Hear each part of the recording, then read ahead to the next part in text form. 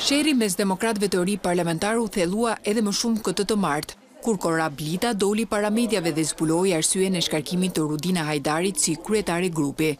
Pas bërjes prezente të shpërdorimit të besimit tonë prej gjashtë muajsh si në aspektin organizativ, politik e deri në atë ligjor, zonja Hajdari në mënyrë verbale deklaroi dorëheqjen e saj në përballë grupit.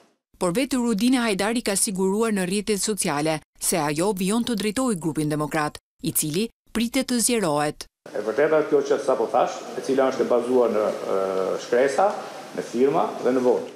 Në garën për drejtimin e grupit, Korab Lita kishte si rival Alban Zenelin dhe Halit Valterin, të cilët u tërhoqën.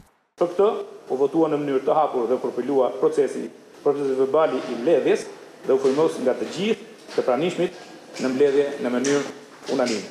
Mes demokratëve parlamentarë beteja sapo ka nisur. Ata janë të ndarë në dy fraksione se kush do të jetë kryetari i ri. Halit Valteri, i rreshtuar krah Rudina Hajdarit, mohoi Korab Litën. Ai dokument nuk është ashtu siç siç është folur, gjithsesi do keni gjithë sqarimet e mundshme dhe gjithkush që ka bërë këto poshtërsi do të mbajë përgjegjësinë e duhur. Por krah vetes Korab Lita ka katër deputetë, mes tyre Alban Zenelin, duke pasur shumicën e votave për vendimmarrjen në grup.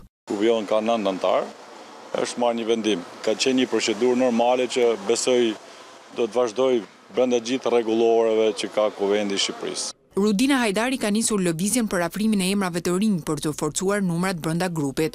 Krenar Ryçi, bashkë me Ligoraq Karamelon, Elda Hotin dhe Majlinda Halilin, janë deputetët e parë të cilët firmosën shkresën për t'iu bashkuar grupit demokrat parlamentar, e cila iu dërgua protokollit në mesditë. Por, kjo nuk është shkresa e vetme e mbërritur në protokollin e Kuvendit nga opozitarët e rinj. Korab Lita i ka kërkuar Kuvendit të vihet në lëvizje për ndryshimet e reja, shkresë e cila mban firmën e shtatë anëtarëve të pranishëm në mbledhjen e dhjetë tetorit.